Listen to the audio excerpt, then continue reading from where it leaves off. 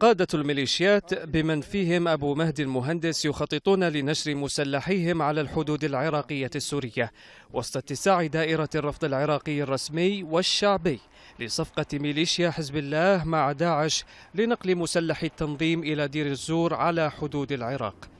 مصدر الأزمة يكمن في أن ميليشيا الحشد التي استقبل قادتها في بغداد رئيس تشخيص مصلحة النظام الإيراني محمود الشاهرودي تؤيد صفقة داعش وحزب الله بإيعاز من طهران التي باركتها بوصفها خطوة إنسانية.